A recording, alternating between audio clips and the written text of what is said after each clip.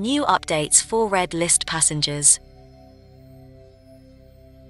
In this video update, we will talk about Heathrow Terminal 3, which will become a dedicated zone for red list passengers from the 1st of June 2021.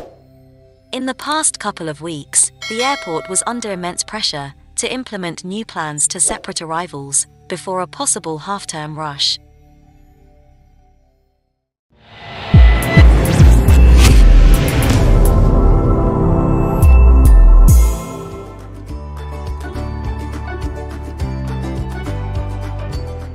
Recently, Heathrow has announced it is reserving one of its terminals to red list passengers from next month, after disparagement that they were being put in long queues, along with more passengers.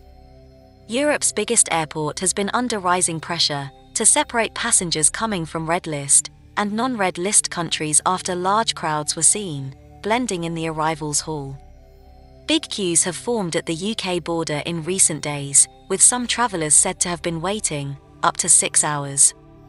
Heathrow mentioned on the 21st of May 2021 that from the 1st of June 2021, Terminal 3, which has been shut for the past year, will be reserved for dealing fully with the passenger from red list countries.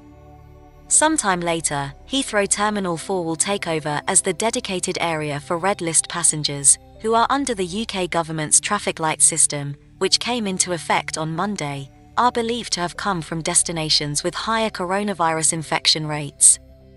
It originates after Grant Shapps, the UK Transport Secretary on Thursday, provided Heathrow until the end of May to come up with strategies to separate arrivals before a possible half-term rush. The airport said, dealing with passengers from territories with various levels of alerts was logistically very thought-provoking.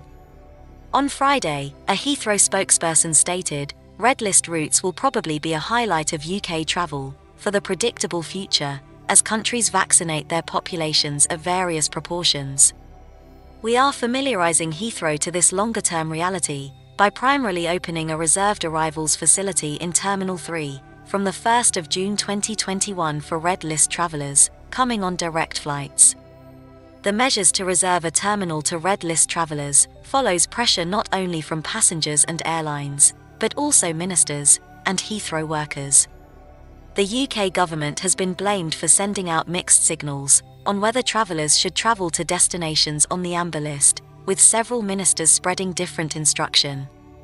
Boris Johnson this week tried to clear up the misunderstanding by saying individuals must have exceptional reasons to travel to amber list countries. In spite of this, up to 270,000 people were expected to have booked to fly to destinations on the list by the weekend. Grant Shapps, the Transport Secretary, has requested people to be patient, specifying that other holiday destinations would soon go on the green list by this summer. This is the end of today's video update. If you found this video useful, please share your thoughts with us by commenting below. Thanks for watching today's update.